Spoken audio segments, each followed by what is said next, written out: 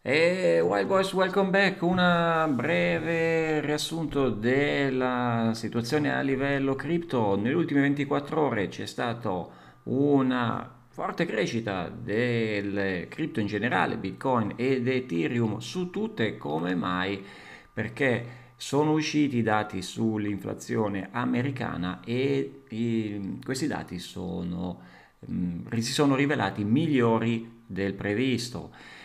eh, volato anche il Nasdaq, l'economia tradizionale, intanto da notare come la SEC eh, vuole che gli hedge fund dichiarino, dichiarino la loro esposizione alle criptovalute. La SEC ha proposto una nuova regola che richiederà ai grandi hedge fund di segnalare la loro esposizione alle criptovalute attraverso un documento noto come Form PTF. Ora, un approfondimento su questi dati usciti dalla Fed, la riduzione del Consumer Price Index, prendendo spunto da questo tweet di Alf, innanzitutto va detto che era abbastanza nell'area visto che i prezzi del petrolio e del gas in queste ultime settimane sono scesi, si sa che il uh, basket dei, dei ehm, dei, dei, beni attraverso i quali viene calcolata l'inflazione contiene appunto anche questi indicatori. Ehm, questo, quello che ci dice Alfa eh, di interessante è che eh, quello che occorre guardare è la, il trend degli ultimi sei mesi e ehm, la cosa interessante è che dalla da giugno a luglio c'è stata una netta diminuzione eh, della, del, dell'inflazione come non si vedeva dal, addirittura dagli, dall'inizio del 1980. Ora, cosa è dovuto questo, questa diminuzione dell'inflazione? Ehm, ora ce lo, ce lo, dice Alfi, innanzitutto però quello che va ehm, osservato dice è la 6 month moving average, ossia la media, media a 6 mesi eh, di come si sta eh, muovendo appunto l'inflazione. E vediamo che è vero che ci sta avuto ora ultimamente un leggero calo, ma siamo in ogni caso altamente sopra la media, quindi fino a che questi da- dati non scenderanno la, mo- la media a 6 mesi, questo in, in, arancione, la linea in arancione non scenderà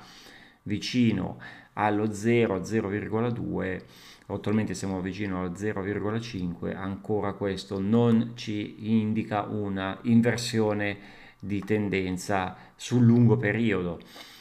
Eh, ora, da, che cosa è composta questa, um, l'inflazione in generale o i dati attraverso i quali vengono presi come mai c'è stato questo calo, quali sono i settori che hanno contribuito di più all'inversione? Beh, qui vediamo nella, con la riga blu il, l'energia, l'energia, i costi dell'energia sono, sono, quelli che stanno contribuendo maggiormente, ma eh, hanno anche avuto il calo una, una, un calo consistente nel mese di luglio. La linea bianca invece sono gli affitti eh, che invece stanno aumentando, anche se invece i prezzi delle case stanno diminuendo, visto che stanno aumentando i tassi di interesse in America, quindi mm, diventa meno costo- conveniente comprare le case perché gli, affitti, scusate, i mutui aumentano, quindi meno gente che li compra prezzi delle case scendono, ma gli affitti stanno, sono in aumento. Mm, mentre il, le commodities in verde leggera diminuzione e mh, mm, le macchine usate in, anche in diminuzione. Quello che son, sta un po' aumentando è il, eh, oltre agli affitti anche i prezzi del cibo eh, questi stanno invece spingendo verso l'alto l'inflazione. Qui appunto anche un grafico degli affitti, eh, come nella media degli ultimi sei mesi sono in aumento, qui stiamo parlando di dati americani e se prendiamo proprio il, eh, questa tabella che ci indica quali settori contribuiscono di più all'inflazione, vediamo come shelter, ossia gli affitti e il cibo sono ai primi due posti, costi della, appunto, della, dell'alimentazione, prodotti di ehm, food and beverage e appunto affitti. Per vedere un'inversione di tendenza occorre una diminuzione dei prezzi, soprattutto per quanto riguarda l'energia, le commodities, appunto i, per quanto riguarda ehm, le, le, il cibo e, ehm, e poi ehm, ci vuole anche una, ehm, una decelerazione della, dell'inflazione a livello core, cioè senza, cioè core sarebbe l'inflazione senza escluso l'energia ehm, e le commodities. Ora, ehm, questo era un pochettino eh, una sintesi di quello che sta succedendo, eh, un'interpretazione alla, eh, dei dati che sono usciti sul Consumer Price Index. Intanto ricordo di seguirci nella nostra community su, ehm, su YouTube, Telegram, Discord, qui trovate su Twitter at The Wildcarder tutti i riferimenti. Ehm, la, la, prendo qui da, spunto dal profilo Twitter per discutere un pochettino degli uh, avvenimenti più importanti degli ultimi giorni. Innanzitutto, eh, ancora di più alla luce di quello che sta succedendo negli ultimi giorni con la censura, il ban, il freeze da parte di USDC di alcuni um, conti, account um, su, collegati alla piattaforma di Tornado Cash ritorna ehm, prepotentemente il discorso sulle stablecoin e sul trilemma che eh, va ancora trovato, che attualmente non c'è, ossia quello di avere delle stablecoin stabili, sì, che mantengano il PEG, ehm, che abbiano eh, efficienza di capitali, ossia Mm, si incontri domanda e offerta, ma allo stesso tempo che siano decentralizzati, ossia che sono collateralizzate da un asset eh, decentralizzato e attualmente non abbiamo nessuna di quelle stablecoin attuale um, risponde a questi criteri. Abbiamo USDC, USDT, BUSD che sono sì collateralizzate uno a uno, ma eh, centralizzate, eh, DAI MIM sono o eh, USDD sono eh, over collateralizzate, eh, però anche loro, per esempio DAI anche over collateralizzata con USDC che a sua volta è centralizzato, quindi ritorniamo allo stesso idem USDD ritor- MIM, ritorniamo sempre alla, alla base del problema, oppure abbiamo avuto in passato quelle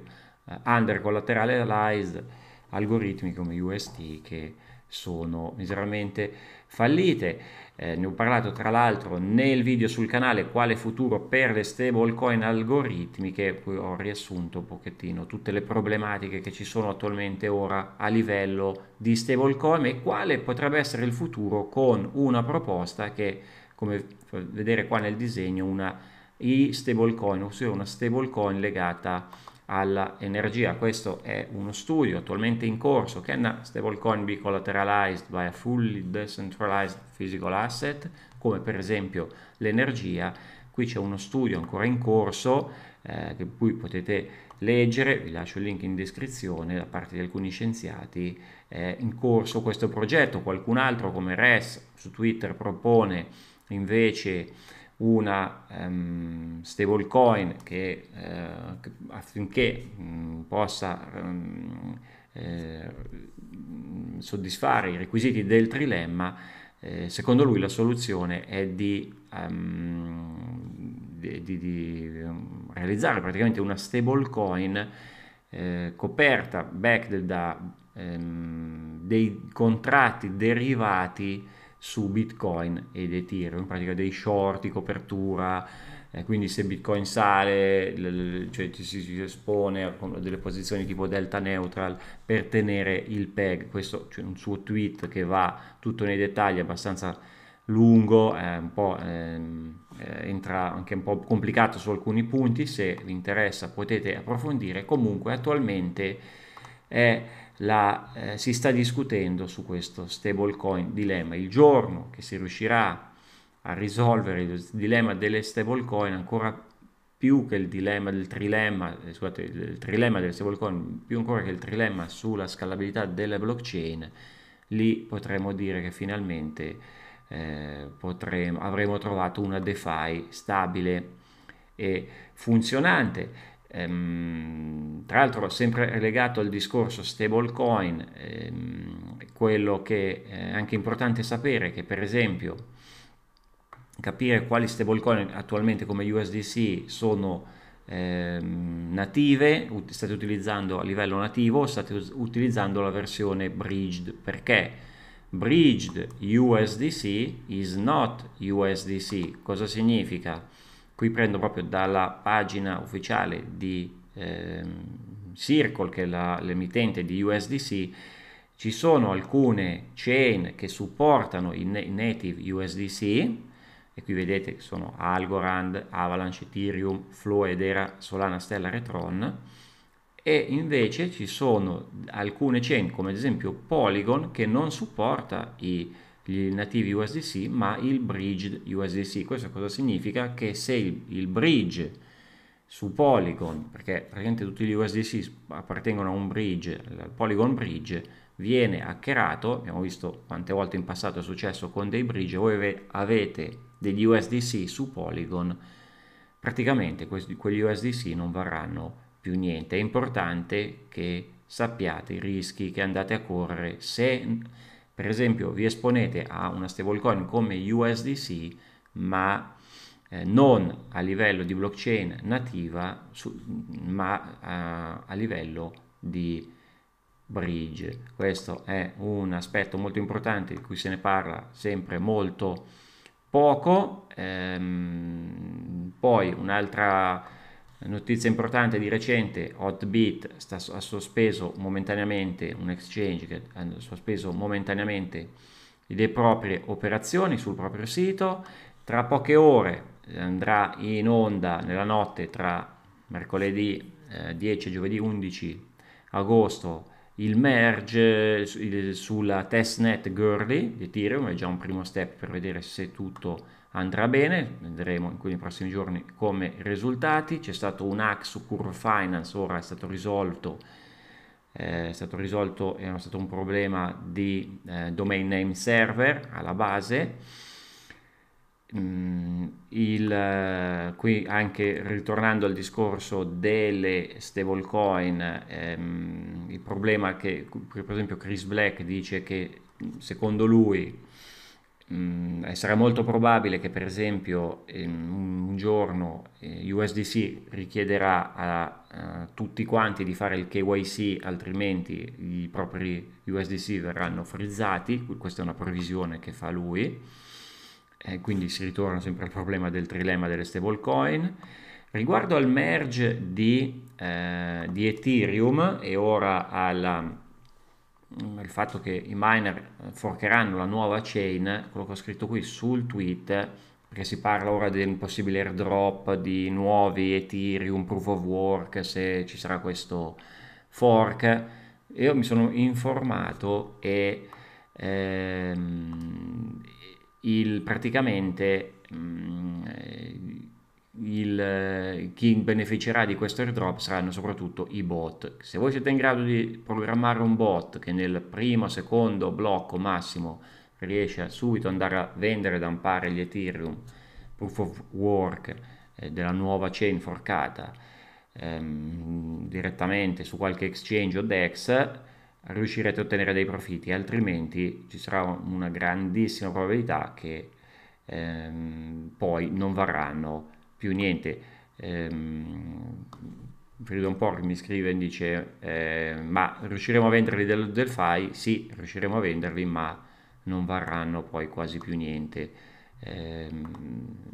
se appunto eh, non si agisce subito a livello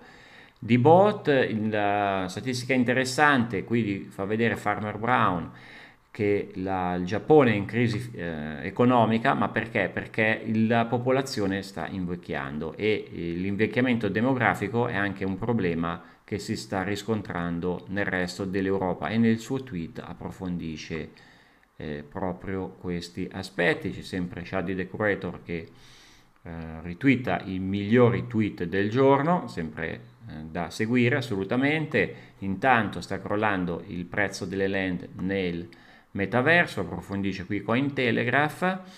Eh, qui di nuovo ritorno sul discorso dei bridge eh, su USDC e le problematiche nel non usare, la, eh, nel usare un,